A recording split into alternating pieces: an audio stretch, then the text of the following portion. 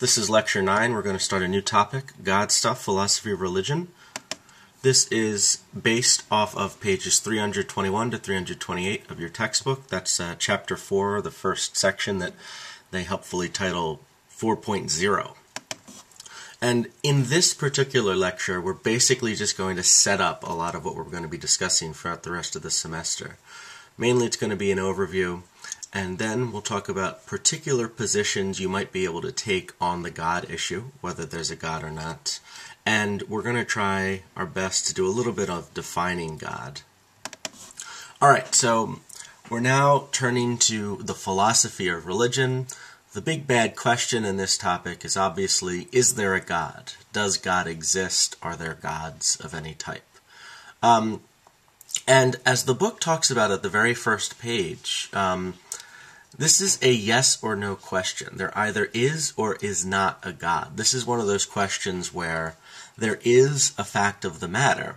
Either the world really does correspond to the claim there is a God, there really is a thing out there called God, or there isn't.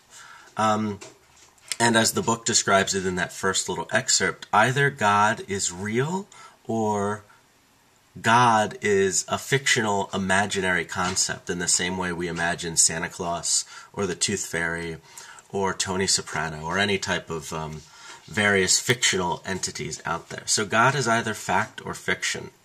And that's the big question out there. Well, in philosophy of religion, there are two related questions that we want to ask ourselves. Since philosophers are obsessed with rational evidence, seeing if you can come up with good reasons to support your belief, one first question would be well, what rational evidence is there regarding God's existence? Is there a lot of evidence that suggests that there is a God? Is there a lot of evidence that suggests there isn't a God? Is there enough to conclude one way or the other, either that there is a God or isn't God? By the way, throughout a lot of this, I'll refer to a God singular. Um, I'm just being lazy.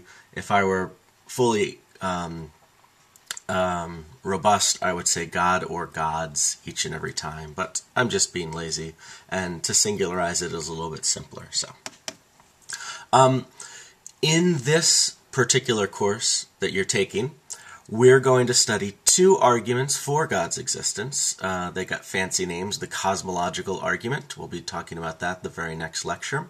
And the design argument, we'll be studying that next week.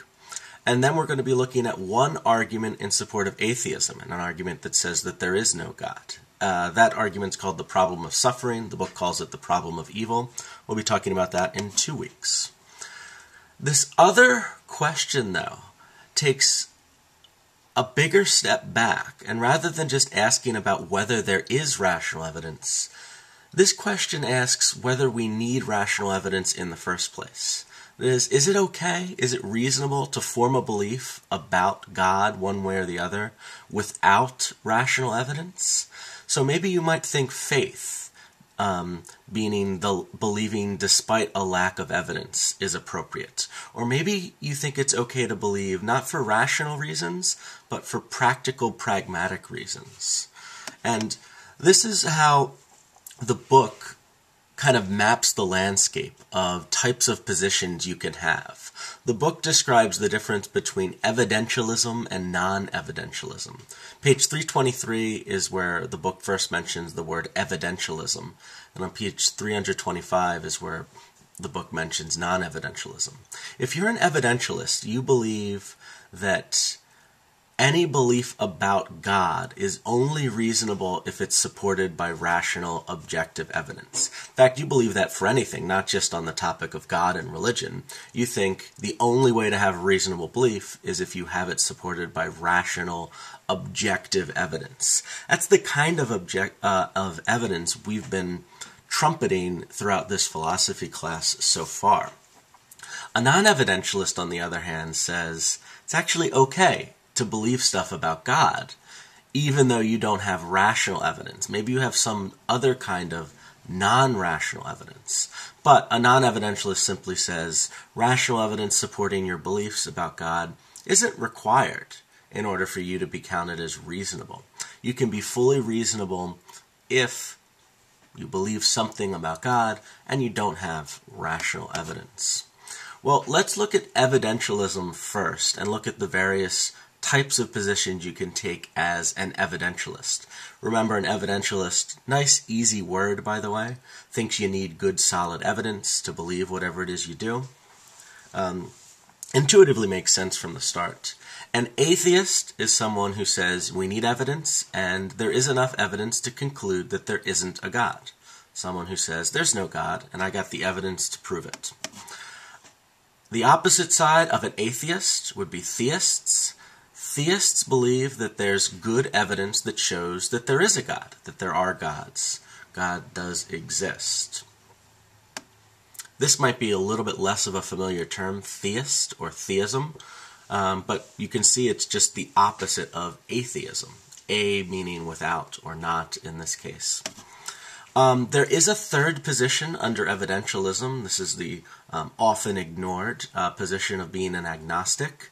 This would be someone who says, yes, we definitely need evidence, but we don't have enough evidence, or the evidence we have is um, offsetting. It, it, balances each other out.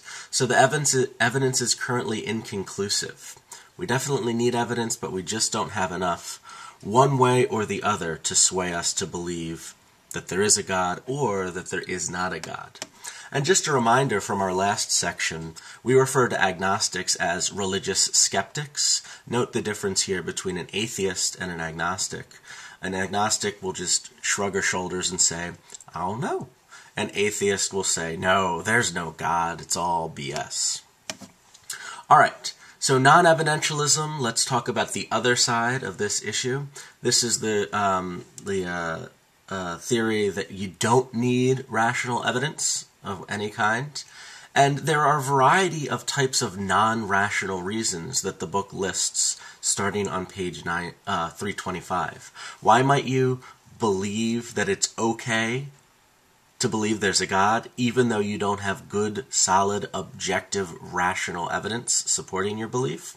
Well, you might consider subjective personal factors like a unique personal experience that you have, or a series of personal experiences that you have that aren't really shareable uh, objectively. They're not the sort of things that you can impart using testimony, um, using the normal sorts of ways that we impart knowledge to other people.